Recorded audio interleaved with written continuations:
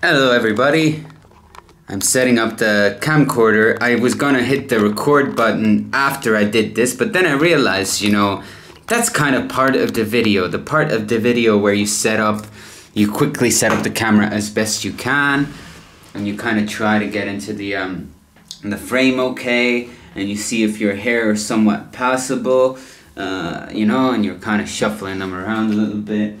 Uh, the light, obviously, I mean, there's light shining from behind me, but uh, to take care of that would, would take a, a while longer. So um, this is good enough for me, and probably the light will adapt too. So, anyways, uh, yeah, the camera is pointing up a little bit, so uh, I don't care. Doesn't matter.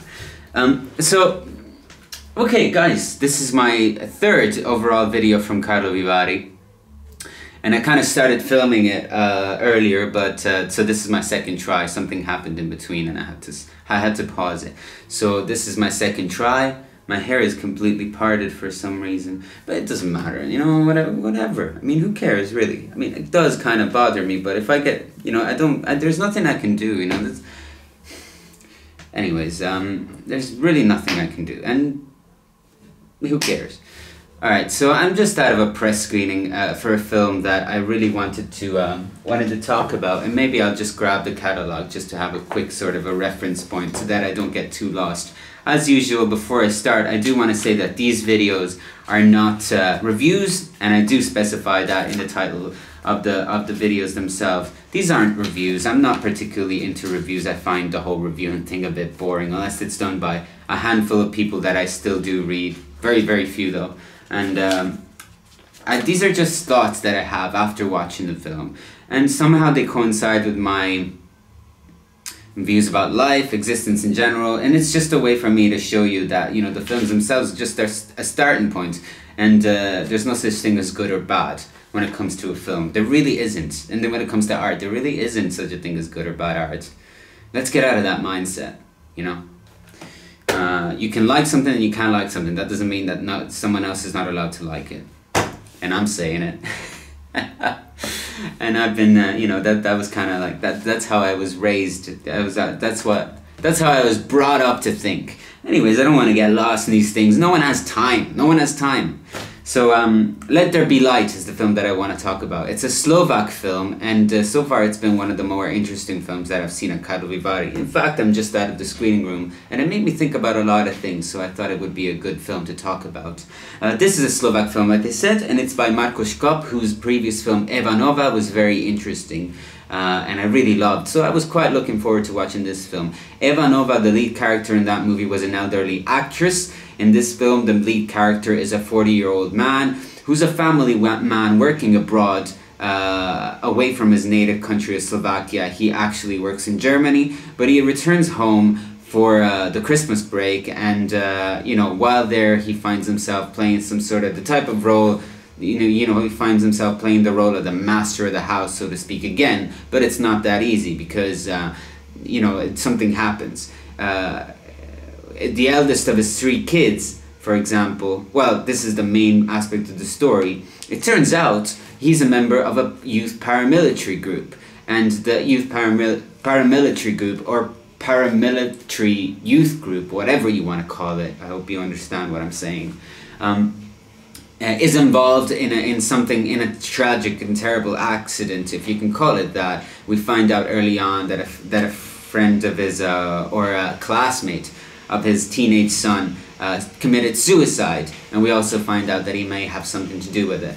Uh, the, kind, the film is kind of a slow burn. We don't find out everything right away, but I do feel that it's, it's okay to say that, uh, in fact, it's right here in the program, that uh, the fact that he is a member of a paramilitary youth organization is important. And this is one of the main aspects that I wanted to talk about. But before I do, I want to point out this is sort of a slow burner of a Western. It does have its Western elements, especially in its leading character, the 40 year old uh, male who is somewhat of a, of a cowboy figure. He, he's out in the wilderness, wilderness, wilderness slash uh, Germany Germany represents sort of the wilderness, the way out west world. And then he, when he comes back, he finds himself having to protect his domestic abode and his family, you know, his wife and his kids, his territory, let's say.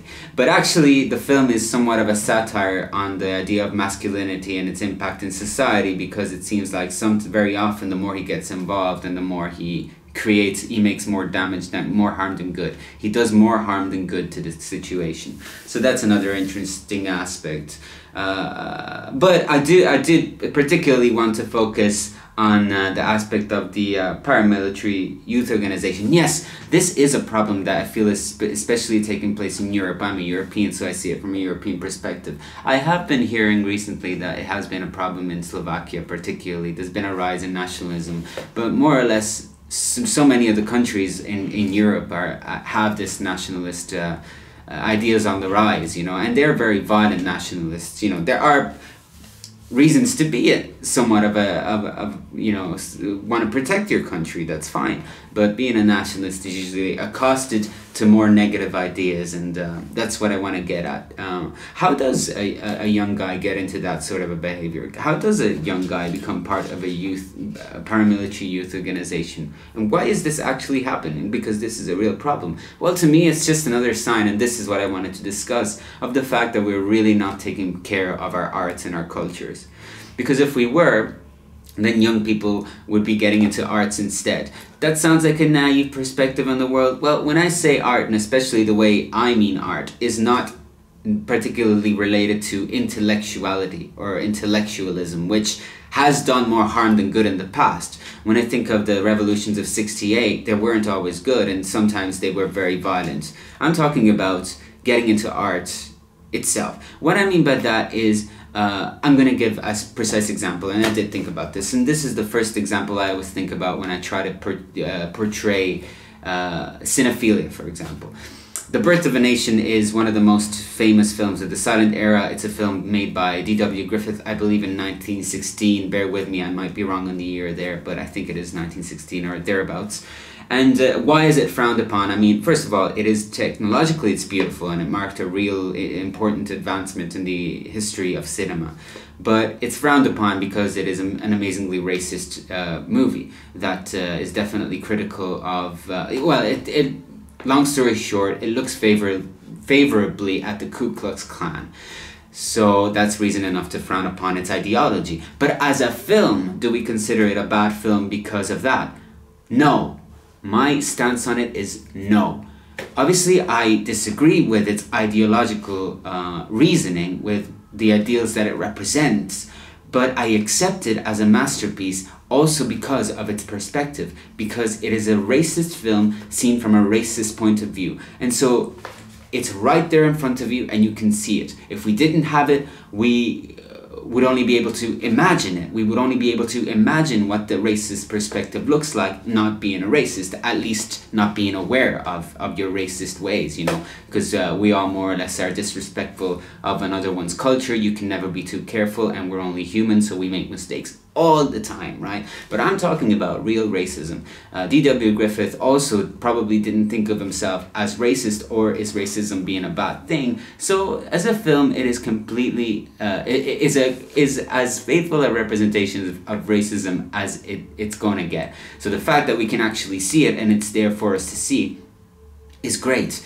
because I'm totally for seeing every perspective that you possibly can. I'm totally against ideological. Uh, censorship. Therefore, I'm totally against also political correctness. We should be allowed to express our opinions no matter how vile they may come across to other people. For example, you know, I have my own pet themes that I hate. I hate seeing animals killed on screen, right?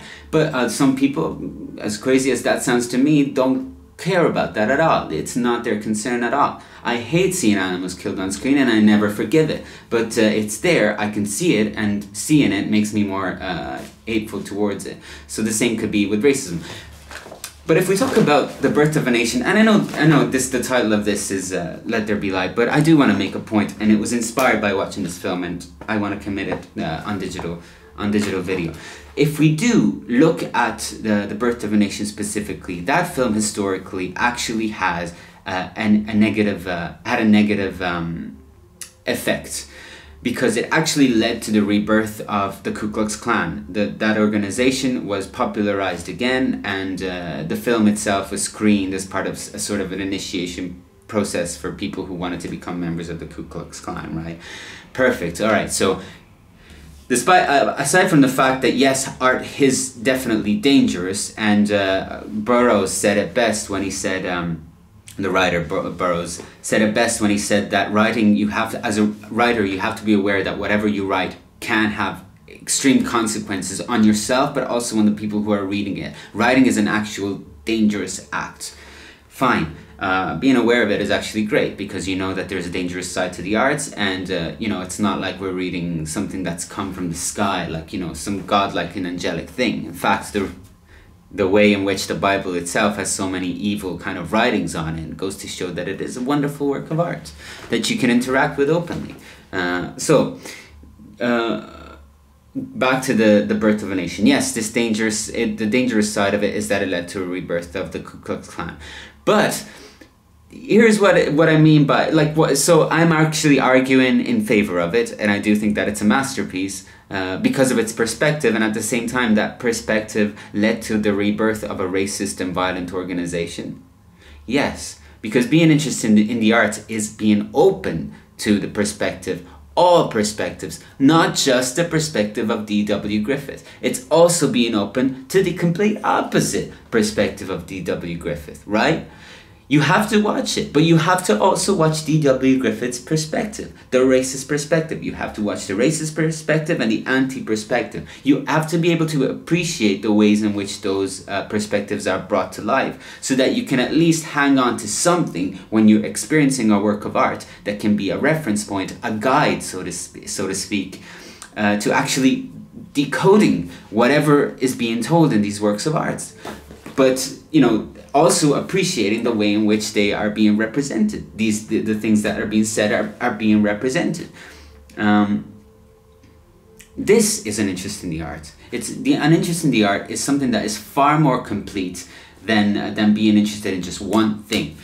Um, so to me, you know, the fact that we are not nurturing culture is a shame because it leads to instead an extremism of ideals. So the youth somehow actually is attracted, whether it's a majority or a minority, the fact that it is happening is crazy to me. Uh, but it's also happening because we're not teaching young people, young adults, or even children to get into arts in a proper way. If we do, it's a very academic and dry way, which is something that we have to avoid at all costs because if that becomes an excessive point uh, thing to take. It leads to hate and hate leads to violence which is why a lot of the discourse around the me too movement is counterproductive. We all you know we all want the liberation of women. We've been wanting it since Rimbaud since we've read Rimbaud. Even if we haven't you know we all want everyone to be safe. We don't want everyone to be happy because I don't believe that everyone has a right to be happy. I believe everyone has a right to be safe. But you know this is a more complex discourse that I don't particularly want to get into.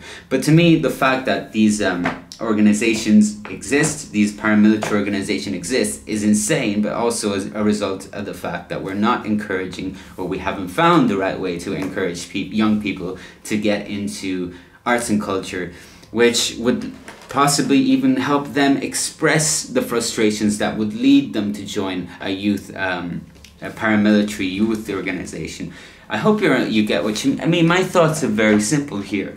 You know, I really believe that the future and the well-being of the future generations and part, uh, such a large part of why I'm doing this you know I'm, I'm not you know i don't have a, a stable job and i've completely you know i'm nine to five and i've completely dedicated my life to talking about the arts in a hopefully in a very real and passionate and, and down to earth way is because i want to try and uh, spread that thought around, like promote the idea that the arts are important because they really, really do uh, help uh, help future generations, help shift away from more violent and unhealthy things that can be done uh, that are being done as we're seeing you know spread of a lot of hateful ideology.